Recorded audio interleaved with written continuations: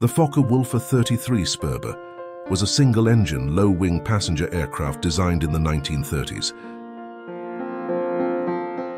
It was intended for smaller airlines, designed to be used as an air taxi for the occasional transport of individuals or companies to locations outside the main air routes or as a commercial and passenger aircraft.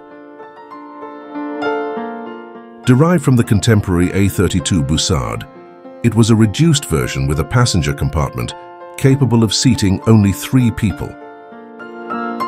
The aircraft was powered by a nine-cylinder Walter Mars radial engine from Czechoslovakia, air-cooled and developed in 1929.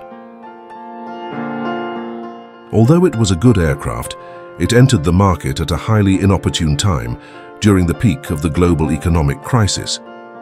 Airlines, struggling with the hyperinflation in Germany at the time, were unable to adopt this mode of transport.